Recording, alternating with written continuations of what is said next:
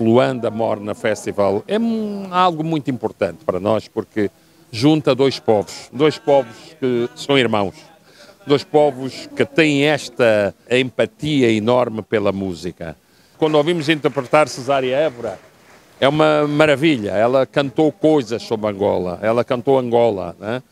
e cantou lá fora e fez muito pela música também de Cabo Verde, mas nunca deixou de se preocupar de dizer que gostava imenso de Angola. E, portanto, é sempre interessante ver que a Morna, com toda a sua poesia, com todo o seu lirismo, se impõe num país onde a grande preocupação é rítmica.